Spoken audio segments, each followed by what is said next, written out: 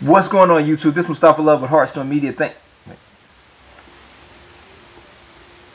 What's going on YouTube? This Mustafa Love with Heart Storm Media. Thanks for tuning in again. But if this is your first time checking out the channel, please think about hitting the like or subscribe button to be notified the next time we make videos like this.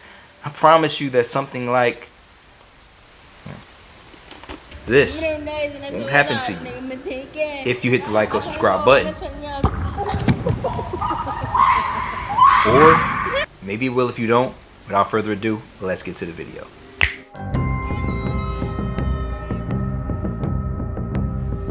So thanks for joining me again, guys. And if you didn't know by now, I am like a huge Star Wars fan. As you see, well, through countless of my videos, you've seen Star Wars memorabilia strewn throughout my place. You see I got a couple of Baby Yoda, you know, some Star Wars merchandise. Um, as you have saw me, see me wearing just now, I have a Boba Fett helmet, which I do wear around the house often. Do not judge me. But one thing I haven't done much on this channel is talk about Star Wars and my love of Star Wars or the shows, the movies, and all the things I watch and have grown to love throughout my years. Uh, and as shown by a lot of the clothing I actually wear too. And link will be in the description if you want to purchase this awesome t-shirt.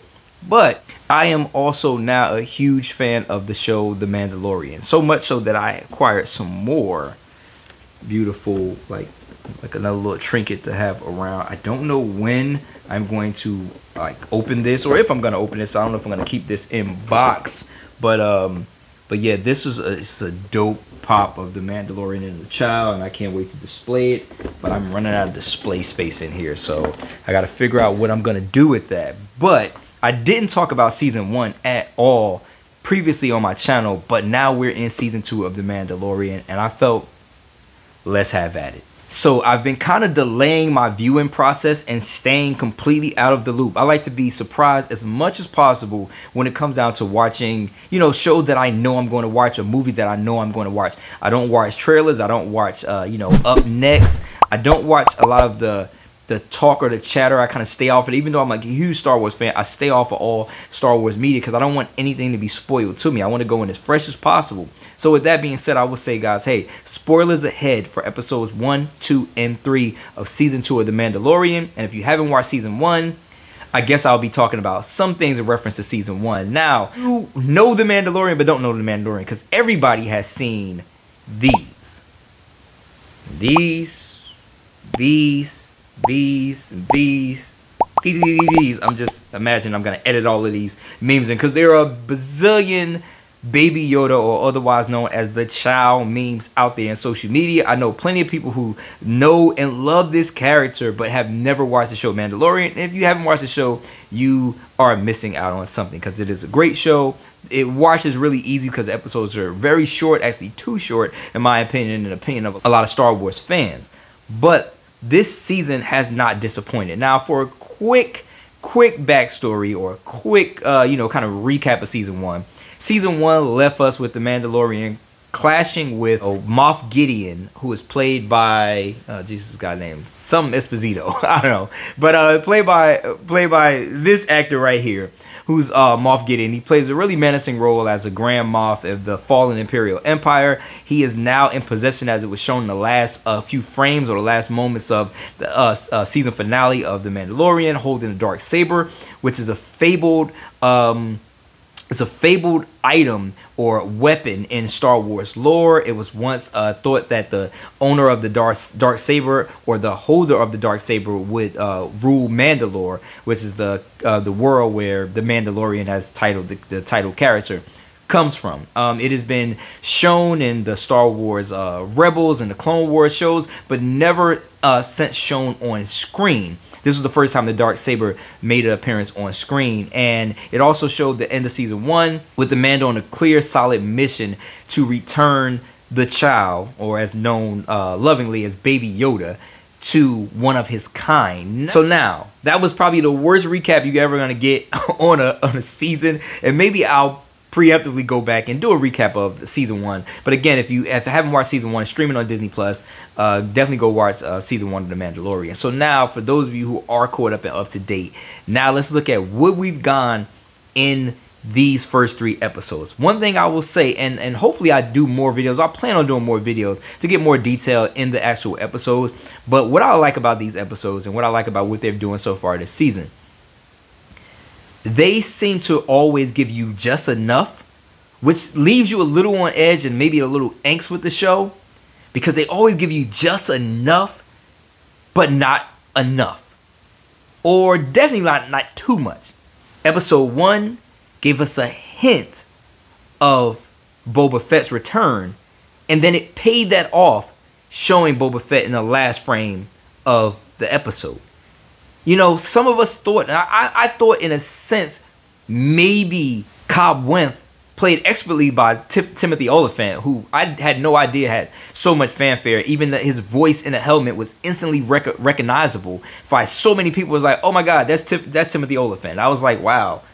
I-, I had no idea this man's voice and walk was that recognizable, but it was instantly recognizable to so many people who didn't like, you know, watch to see who was going to be playing the character. But I thought it was possibility that the show was leading the Mandalorian to Boba Fett. Teased it, but then didn't give it, but then paid it off at the end of the episode. We do see Boba Fett is alive and well and will make an appearance on this show. Now, some speculate that maybe the the trooper that we saw could potentially be another clone trooper and not Boba Fett.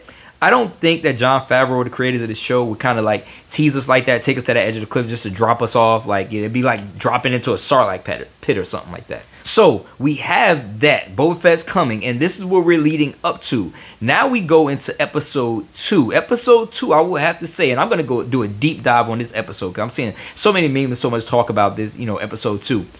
Episode two was one of the most suspenseful and hard to watch episodes of TV I've ever seen. Like it, it, it was it was heart wrenching and it was it had its sad moments. It had its, its very fearful moments, like when when Baby Yoda was eating this woman's or this character, the frog lady, as she was titled, eating the eggs, which had been, you know, spoken of the Jedi. last of her family's line, and they're showing Baby Yoda's character haphazardly and almost for comic relief eating the eggs. I didn't know how far they were gonna go with that, and I seen there was a lot of internet chatter from episode two, and I and I and I stayed away from it, but I didn't know if they were gonna. I didn't know if he was gonna eat all the eggs. The whole show, I was on edge. Like, you're taking this beloved character and definitely doing some things to to curb somebody's thought process of this beloved character. Because if Baby Yoda eats all this this this this woman's eggs how do you view that character then after? And I didn't know if that was gonna happen or not. Every time they left Baby Yoda alone, I thought it was a chance that he could eat all of the eggs. That was nerve wracking for me. Like that was.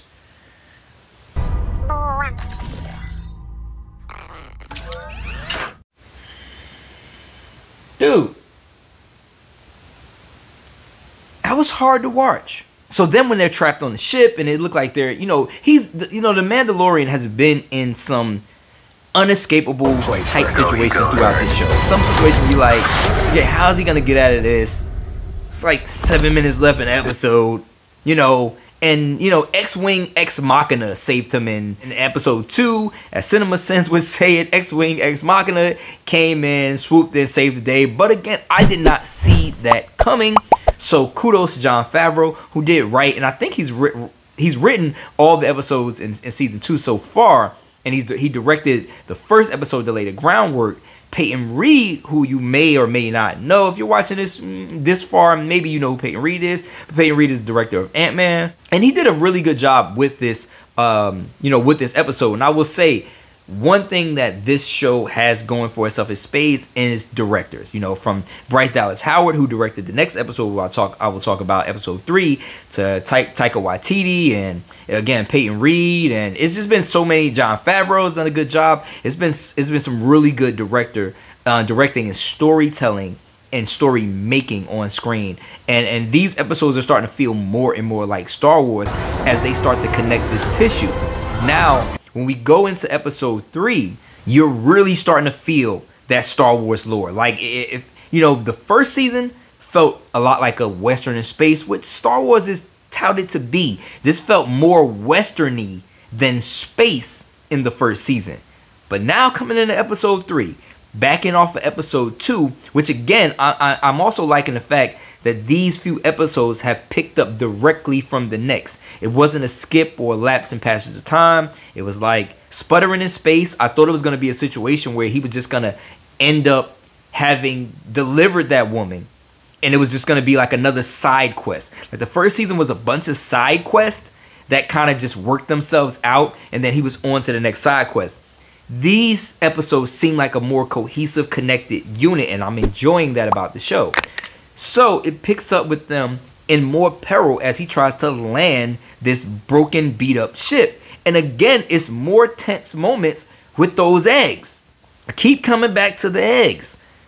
And, you know, seeing the mother's protectiveness over the eggs, which I felt like she was a little bit lapse in judgment in episode two. You know, leave me your thoughts in the comments if you felt that too to see her protectiveness over her eggs and you know the words. Like in episode 2 when she connected herself to that voice modulating robot for for the robot to be able to talk to to the Mandalorian oh man like that her her her words through through the droid. I tell you Star Wars when done right knows how to do stuff right. Her words talking through the droid and just seeing the the the look on the the face of a frog character was very very very heartwarming. And you really felt you really felt it. So the voice acting was great. The effects were great. You got two characters whose faces you can't see. Well you can't see the mandalorian's face and then you got a frog lady. But that scene was very moving I, I have to admit, it was very, very moving. So when you see her holding on to her eggs to brace them for impact and trying to hold on to help the ship land. It's like man, and then the reunitement with um, her and, and, and her, her her partner, her spouse, her husband. It was it was very very very touching the way the trajectory of the last episode was going. I literally said to myself, this episode needed that because man, this episode needed to start off on that note. And then, of course, it completely takes a turn for the worse, and the Mando gets trapped in a situation where guy he's not going to be able to get out. And bam, here comes the Star Wars action with the Mandalorians in action, looking as bad as they ever did, even more exciting than the season finale of, of, of the first season. They swoop in, they kick ass, and it's it's Star Wars, and it it, it really for a fan, it really brings you there. It, it shows you if you're a fan of the Clone Wars series, if you're a fan of Rebels, this was your moment. Like if you're a fan of the Clone Wars series, if you watch the Clone Wars and you're not watching the Mandalorian, I don't know what you're doing. But this this brings it kind of full circle. Now, you know, not gonna get too much into the episode. Just to say, I really liked the episode. Bryce Dallas Howard came back to direct another episode. I think this might be her third in the series the directing was was awesome. Everything looked good. The sound quality. Um, to hear those Star Wars s sounds. Um, it was there to see some Mon Calamaris walking around. Um, I forget what the other species is, the ones the tentacles that look like the captain from Pirates of the Caribbean, and um, to see these characters interacting, I'm like, wow, this is Star Wars mixed with Waterworld, and I get why these type of uh, you know alien characters would, would be on this world that seems to be heavily you know relegated to you know aquatics. You know i was like oh this makes sense. Because at first i thought they were in, on mount, mount calamar but i was like wait that would make sense. Because they did say they was going to a planet called trask and then when you see all the, the Mon Calamarians there it was quite a few of them uh, on in, in part of this episode. So this episode it gave me a lot. Um, it also left our main character with some things to wonder about. Was all the things he's been like, you know, brought to believe throughout his whole entire life about the code, you know, was it false? When he's seeing Bo Katan remove her helmets and all the other Mandalorians remove their helmets, of course, he initially thought you can't be true Mandalorians because you just remove your helmets. And the information that she gave him, I know it gave him something to think about. Is everything he's been taught a lie? You know, is she telling the truth? And it was just really interesting. I figured I was wondering where is it going to lead the character. So now, where we're leading up to now, and this show gives us yet again just enough and not too much, just enough to satiate us, just enough to satisfy us. Not like Baby Yoda eating the eggs that he couldn't stop eating. That child is like a human garbage disposal on that show. It is hilarious. And with some hilarious moments in that show with him eating the the similarities to the alien face hugger. I think that might have been a homage to that franchise. I really thought a face hugger was popping out of one of those eggs.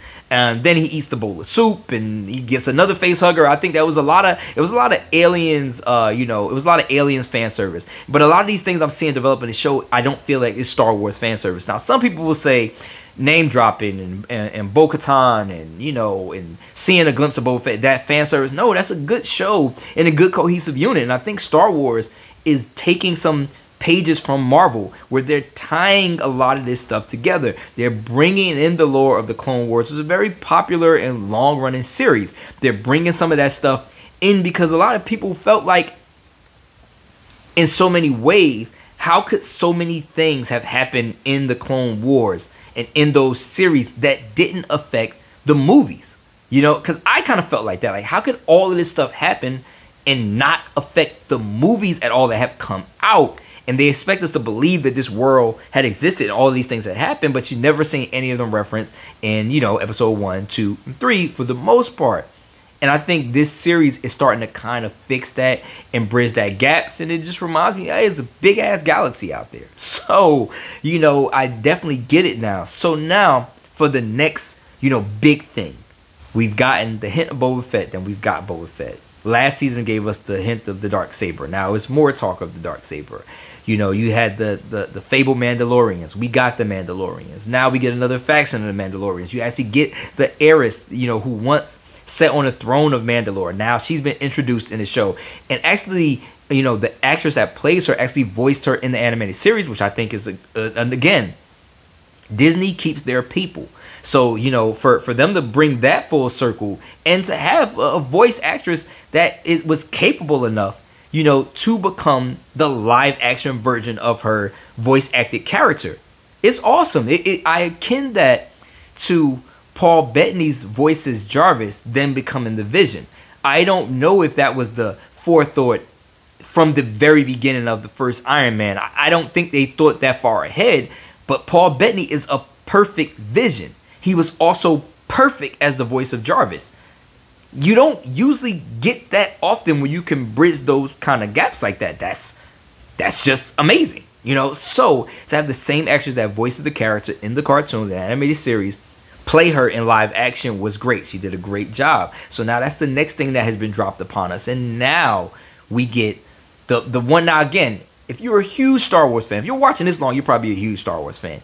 You probably knew this was coming, but I didn't because I stayed away from this information purposely. The Ahsoka Tano name drop was like, thank you. Thank you, Star Wars, Jon Favreau, and dare I say it, Kathleen Kennedy, because she's still an executive producer.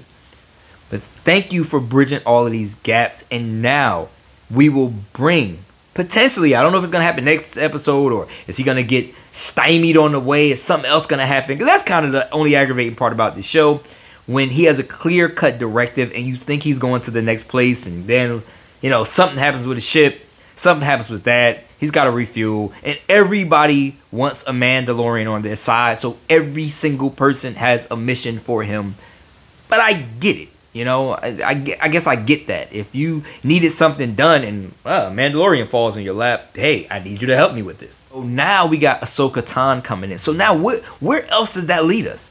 Like, where else does that lead us when now you have Boba Fett coming back? Now you have the Mandalorians in play. Now you have the heiress to the to the Mandalorian throne and trying to reclaim her home world. Now you have Ahsoka Tano coming in. So now where else is this show gonna go, and when is it going to culminate together? That definitely gives you something to wait for. And I don't know if this season is slated to be another eight episodes, or I mean eight in total, or is it gonna stretch to ten? But I am very, very, very, very much enthused to see how it plays out hopefully I will be coming back with some more content, Star Wars related content. I gotta do some more homework. I gotta watch some more stuff, and I gotta re-engage in my fandom. I am never disconnected, but I will say some of the, you know some of the things that have taken place uh, you know over the over the past I don't know year or so have kind of you know I don't know it's, it's it's it's ruffled my feathers as they say. But again, guys, if you watched this long, thank you very much. Please hit like, subscribe, button, share this content out. Um, leave some in the comments. Tell me what you want me to talk about. If you're a Star Wars fan, say Star Wars in the comments or something to let me know you are. And again, if you watch this long, I really appreciate you guys. Um, go check the link in the descriptions if you want to get some merch, if you want to get a pop, if you want to find a nice t-shirt. I got links in the description for all of those things. And I'm out. Hey guys, thanks for watching this. As always, if you like these videos, you can click my face here to subscribe or here to watch more videos. One.